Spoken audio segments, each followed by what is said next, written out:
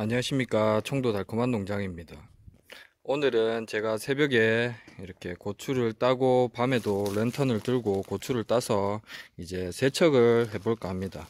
이제 고추 여기 보시면 이제 흙탕물도 있고 먼지도 있고 이렇거든요. 그 이거를 어, 물에 이제 흐르는 물에 넣어서 이제 세척을 할 건데요.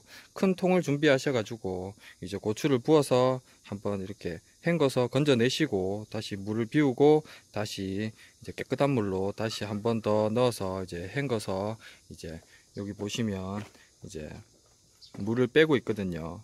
이제 물을 빼서 이제 어느 정도 이제 고추가 이제 덜 익었다고 생각되시면 이제 밑에 깔아 가지고 그늘에다가 펼쳐 놓으셔 가지고 여기 말로는 음, 꼬들 캔다고 얘기를 하거든요.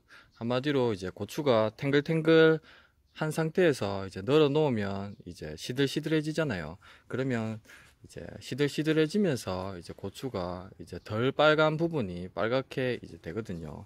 아, 그렇게 해서 건조기에 들어가시면 어, 더 색깔이 곱게 올라온다고 하거든요 그러면 저는 이제 다시 고추 세척을 해보도록 하겠습니다. Little lamb, little lamb, little lamb. Mary had a little lamb. Its fleece was white as snow.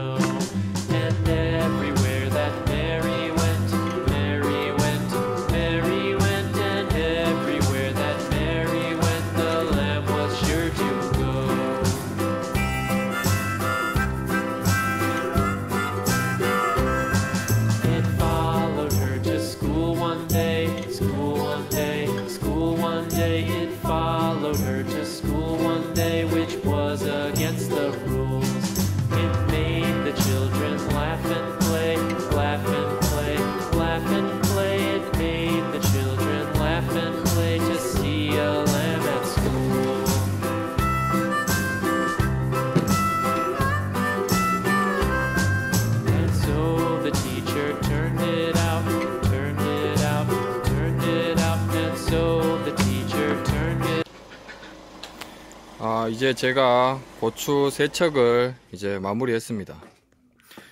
이제 물기를 빼고 이제 저녁에 제가 고추를 건조기에 넣을 거거든요. 오늘도 즐겁고 행복한 하루 되시고 항상 즐거운 일만 가득하시길 바랍니다. 감사합니다.